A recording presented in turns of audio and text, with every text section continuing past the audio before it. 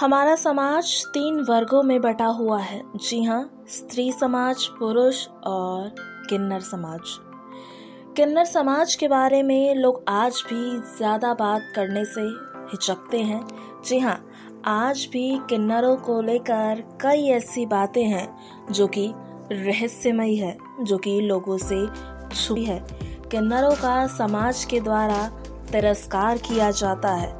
किन्नरों को तो हम सबने देखा है। जी आपको ये भी बता दें कि हम लोगों से पूरी तरह से उनके रहने का तरीका, उनके जीने का तरीका बिल्कुल अलग होता है और समाज में इन्हें थर्ड जेंडर का दर्जा दिया गया है। इनका एक अलग ही समाज होता है और ये लोग उसी समाज में रहते हैं, जैसे हर समाज के अपने अलग अलग रीति रिवाज हैं। ठीक उसी प्रकार से किन्नर समाज के भी अपने कुछ रीति रिवाज है से लेकर मृत्यु तक। इनके जीवन में अलग अलग नियमों का पालन किया जाता कभी आपने किसी किन्नर की शव यात्रा देखी है? नहीं देखी होगी। ऐसा इसलिए है क्योंकि किन्नरों की शव यात्रा जो है, उसके पीछे कई राज छुपे हुए हैं। तो चलिए, आपको बताते हैं कि किन्नरों की शव यात्रा के पीछे क्या राज है। कि जब किन्नरों की मृत्यु होती है, तब इनके शव को सभी से छुपाकर, जी हाँ ज़्यादा, ज़्यादातर शव यात्रा रात के समय निकाली जाती है। वहीं किन्नरों की शव यात्रा को रात से निकालते हैं। रात में किन्नरों की शव यात्रा निकालने के पीछे कारण ये है कि कोई इंसान इनकी शव यात्रा को ना देख सके। ऐसी मान्यता है कि इस शव यात्रा में इनके समुदाय के अलावा दूसरे समुदाय के किन्नर भी मौजूद नहीं हो सकते। इतनी ज़्यादा गुप्त तरीके से किन्नरों की शव यात्रा निकाली जाती है।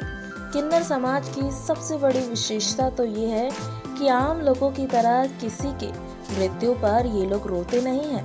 किन्नर समाज में जब किसी की मृत्यु होती है, तब ये मातम बिल्कुल नहीं मनाते, क्योंकि इनका रिवाज है कि मृत्यु से उन्हें नर्क वाले जीवन से छुटकारा मिलता है।